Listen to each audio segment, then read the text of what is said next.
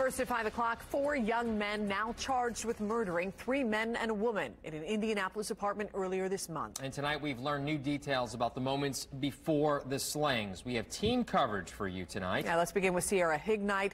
Sierra, what are you learning about the night of the murders?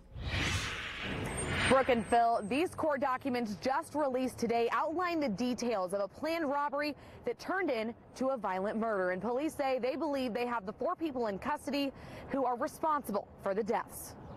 After two weeks, police say these are the faces of four killers. Rodrice Anderson, Cameron Banks, Desmond Banks, and LaShawn Watkins, all charged with murder. Investigators say they were part of the plot that left Braxton Ford, Kamari Hunt, Jalen Roberts, and Marcel Wills dead in a Northeast side apartment. That the community itself also played a pivotal role uh, in uh, any arrests being made. Investigators say social media and tips helped lead them to the suspects. It takes a lot for certain individuals to come forward and, and to, to talk uh, without going into who they are. They know who they are.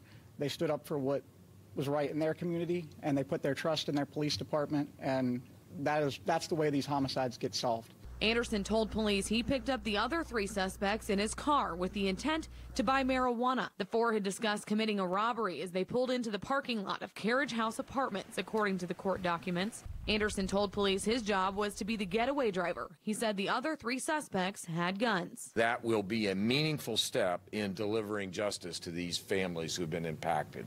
Before the murder, the victims were playing dice inside the apartment. Investigators believe the suspects knew there would be a large amount of money inside. Investigators say the apartment had been ransacked. The back patio door shot out and the four victims dead inside. But the sheer number of casings as well as the number of people who uh, were shot and the number of times that they were shot certainly suggests that we had multiple shooters. Police say guns, money, marijuana, and other personal items were stolen from the apartment. If convicted, three of the four victims could be facing the death penalty, but all four of them could face the potential for life in prison. The prosecutor's office has not said whether or not they will be pursuing either of those punishments. Reporting live, I'm Sierra Hignight with TV News 8.